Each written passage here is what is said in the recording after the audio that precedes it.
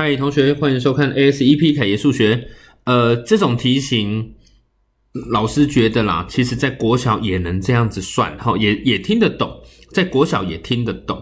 怎么怎么算呢？我们来看一下，某个裁缝师呢，做一件童装、一件裤子、一件上衣，他所用掉的时间比叫做一比二比三，而且他一天只能做什么？两件童装、三条裤子、四件上衣。OK，那如果他做十四件童装、十条裤子、两件上衣，需要多少天才能完成？好，我们先看哦。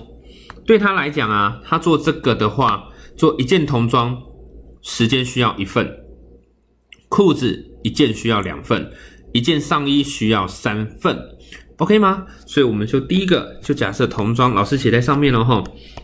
一件童装需要一份，一件裤子需要两份。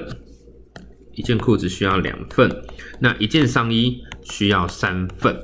那他一件他一天到底能做几份？他能做两件童装嘛？哈，这一题我们就用最简单的方式算一算就好了。那他可以做三条裤子，三二得六。他也可以做四件上衣，四三十二。所以你看他一天的工作量叫做几份？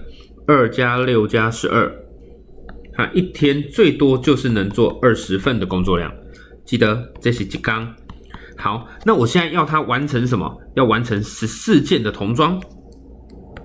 我要他完成十四件的童装，所以十四件的童装需要十四乘以一，加上二乘十，再加上二乘三，所以我需要十四加二十加六。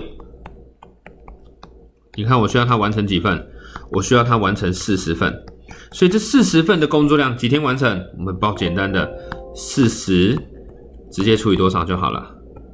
二十啊，对不对？所以它几天就完成，两天就解决了，解决解决了啊。OK，好，所以工作量的题型，把它变成份数，份是很好用的东西。